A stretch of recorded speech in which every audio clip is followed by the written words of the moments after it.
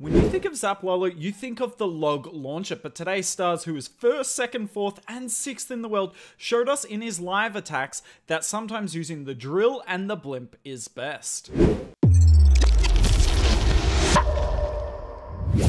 Here we go, coming in with the Zap. Sorry that was uh, quite zoomed out there.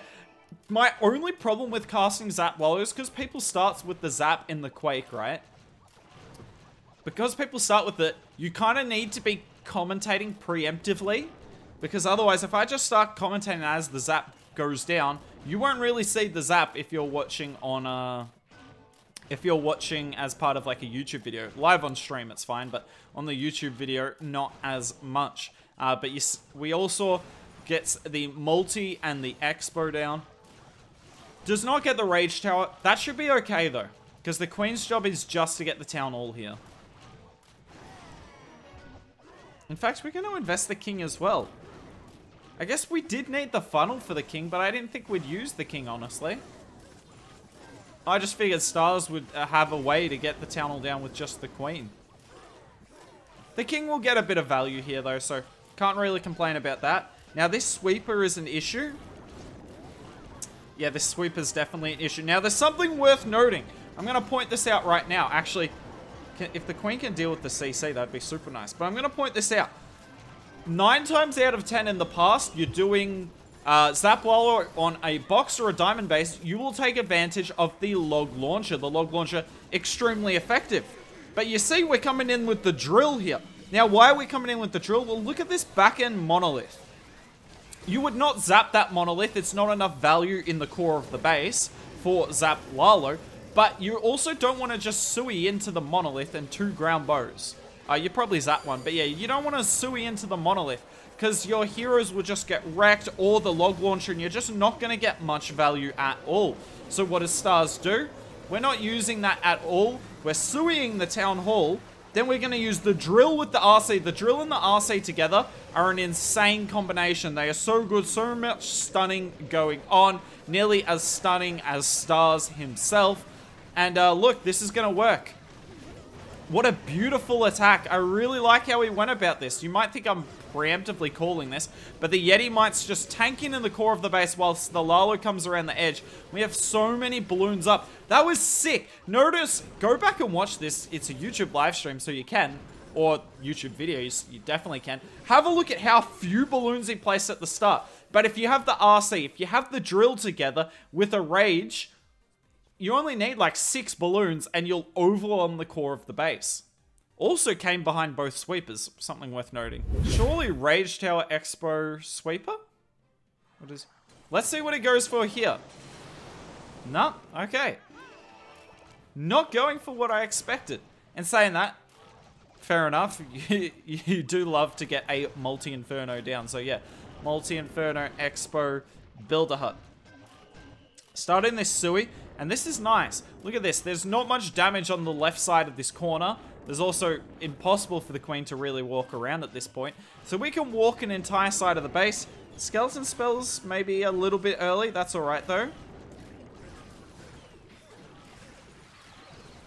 Unfortunate. He wanted the Ice Golem to tank the king there. Alas, the Ice Golem did not tank the king. Because he's kind of burning through headhunters at this point at an unsustainable rate. He's only got one headhunter left and he's going to deal with one and a quarter heroes. Really nice that he somehow hasn't activated the town hall yet. King, don't do it. The king really wants to do it. Can this ice golem hurry up and die? There we go. Look at this. Still hasn't activated the town hall. And that's good because it's just less damage on our heroes. Now we do. Queen takes down the monolith. King takes down the town hall. Can the queen not stand in the town hall poison? Yeah, that's actually really nice. There goes our headhunter. And here we go with the drill RC combination. Something that you don't really see from a lot of Zap Lalo players unless they're stars. And what we'll see here, we saw it the, before when he used the drill and the RC together, is that we're not deploying that many balloons. Look at that. We are still hanging on to 14 balloons. But that's okay, because this is just a push uh, a couple of loons with our RC and drill, well, like 10-ish, and then the remaining lava hounds and uh, 14 balloons No Warden support, but coming around that back end of the base, doing their absolute best. And look at that, the Lava Hounds are just tanking perfectly. The Yetis have come out. I think our RC's dead, but I can't tell. Nope.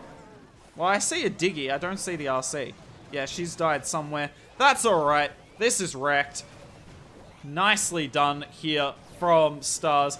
In saying that, the Yeti really does need to get rid of that sweeper. Finally does. Diggy is just way too much stun. We've got like a million pets still up. There's a phoenix, there's a Diggy, there's an owl. This base is wrecked. GG's to Stars. And this looks like a really solid way of taking down diamond bases. These diamond bases think they're so ahead of the meta.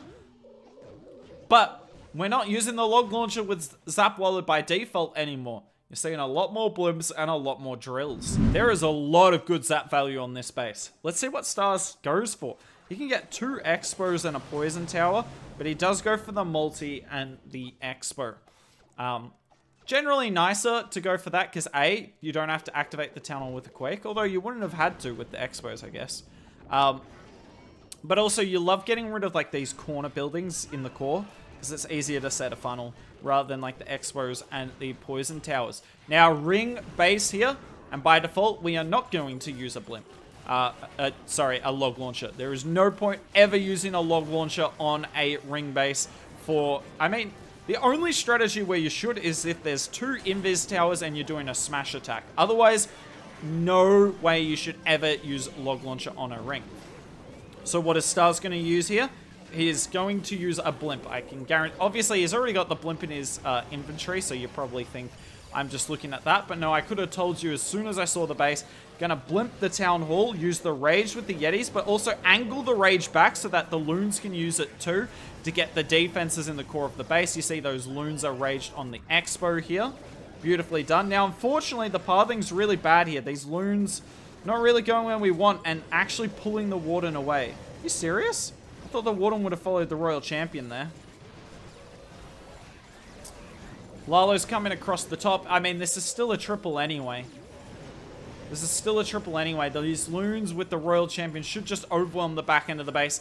And that right there is how you kind of take down a ring. Particularly like a high DPS ring like this, you don't need to do your Sui for like 50 years. Just get your Lalo started as soon as you've got somewhat of a funnel. Uh, try and deal with the CC with your... Oh, wow, this is going to get close.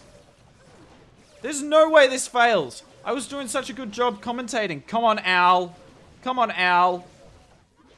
Okay, not even close. Not even close. But I think this sums it up pretty well. This is the best approach to take down a ring base with Zap Lalo. But you're not often going to overkill it. It's still not... You don't love hitting uh, a ring base with this army. It's definitely the weakest base for it, but can still work out. But yeah, as you see, never use log launcher, always use blimp on ring bases. All right, let's see what he comes in with. Yep, no surprise there. As, as uh, just before he went in with the Zap Quake there, I literally said I know what he's to do. And it was exactly that. You see it on box bases all the time, particularly from Stars. Loves going after those core expos and multis that you see together. But you don't see him come in with a Yeti bomb much. You do not see him come in with a Yeti bomb much. In fact, a Yeti bomb is just very unusual with this army. What in the Yeti bomb value? The Yeti bomb was baited. We found two Sams. Still got over the wall deals with the enemy queen, and then activates this poison tower. Look at how far that is away, but the Yeti Mites are just on one today. Now, let's analyze this quickly, because obviously Zap over here, and normally you'd send the log launcher straight through here. But that multi would burn our log launcher alive. Like, the log launcher would not get very far. Yeah, I, I kind of respect this, honestly. This will be very interesting to see, though. This will be very interesting to see, because look at this weird Lalo path with left SLs. It's not really a uh, typical Lalo path. Not really normally what you want, but I mean, Stars can do any Lalo, it doesn't really matter. Let's see how he does this. I mean, this is a perfect Sui. The King's still got so much health as well. The King should actually go in and get this scatter. We've funneled for the King perfectly. And the King might tank the ground bow now. Wait a second, can the, how far can this queen go? I assume the double poison will hurt. Imagine if she somehow got to the eagle. Okay, she's not going to. The scatter has other ideas. And yeah, I thought he might do this. Just to spam straight into the highest DPS part. It doesn't really make sense from a pathing perspective, but he doesn't need pathing here. He just needs to take down the high value targets as quickly as possible and just leave nothing up.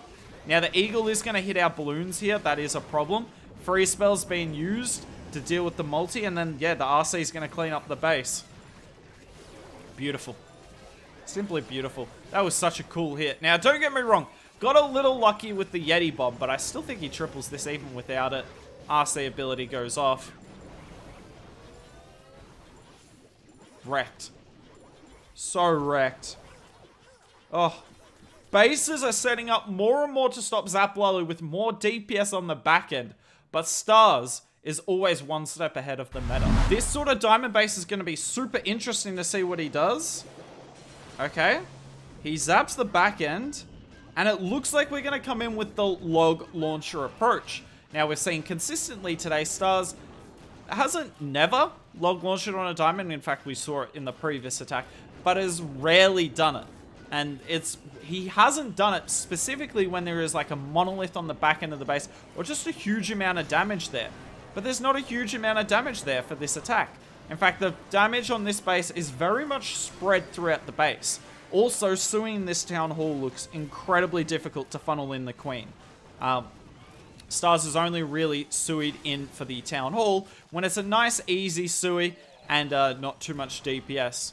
So yeah, Log Launcher going to come in here, and I mean, you can see the value it's going to get. Unfortunately, it probably would have opened up to the Monolith if it weren't for the defensive uh, Ice Golems freezing up, but that's okay.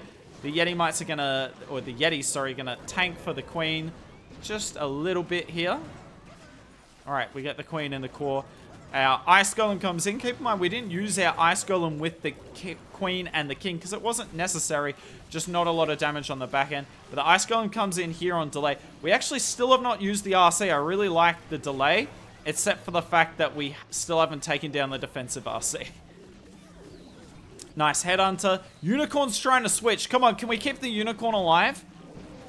We've got a Royal Champion charge. Love to see it freeze that Rage Tower on the multi immediately. You do not want a Rage Tower activating early with that multi because it will destroy your entire Lalo. Nice Warden pop. Actually, I lie. That's a really unfortunate Warden ability. The Warden's just got zero brain cells. By the way, the Royal Champion charge in the base is going fantastic. But yeah, if only the Warden could follow every group of balloons and actually be intelligent. Three Headhunters and a Skeleton spell to take out the defensive Queen. That sounds like enough. Looks like our Royal Champion has gone down, but we've just got to overwhelm this scatter here. Now, unfortunately, there's a lot of loons grouped up together, but we've got the Diggy up, we've got the Unicorn up, we've got the Owl up. How many pets do you need? Oh, this is crushed. Nicely done from Stars here. And this, this right here shows when you should be using the log launcher on a diamond base. When a, the main factors we saw, really difficult to sui the Town Hall and not a lot of damage on the back end. Also, our zaps in this compartment here set up a perfect funnel. So hopefully that clears it up for you there, but you should definitely, definitely look at using the drill and occasionally the blimp more often.